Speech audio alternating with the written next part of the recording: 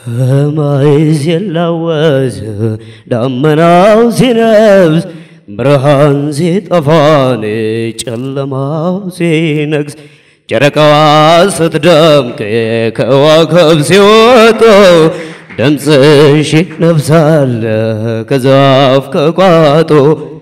አመል ያለብኝ እኔ ሰሰኛሽ አይቼሽ አልጠግብ ውጭ አልጨርስሽ መውደድሽ ግን ልቤን ተኮሰው።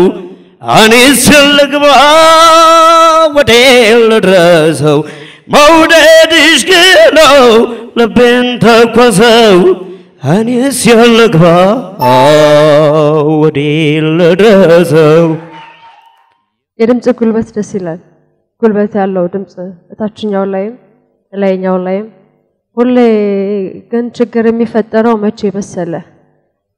የራስን ነገር ከመስራት በላይ በጣም የማስመሰል ፍላጎት ሲበልጥ በጣም ችግር ይፈጠራል።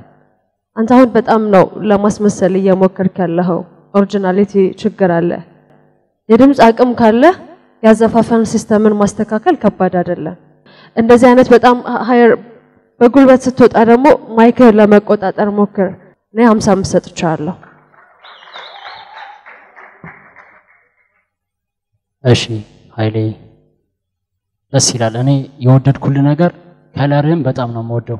ደስ የሚል color በጣም ተስማምቶኛል። color ጉልበት በጣም ደስ ይላል። ትንፋሽ በደንብ ይዘህ ነው ምናምን የምትሰራው። አዝማቹ ላይ ምንም ጥያቄ የለኝም። አዝማቹ ላይ በጣም ተስማምቶኛል፣ ደስ ይላል። ግን ወደ ሁለተኛው የዜማ እንትን ሲሄድ በጣም power በጣም ስለምታበዛ ቃላቶችን አስጨንቀህ ነው የምታወጣቸው። አንዳንዴ ደግሞ ወደ head voice ወደ አፍንጫ ምናምን የምትወስደው ነገር አለ። እሱን የሆነ ጤናማ አይደለም። እሱን ነገር በደንብ አስተካከል። ሌሎች ነገሮች ለእኔ ምንም አይሉም። 50 percent ሰጥቻለሁ።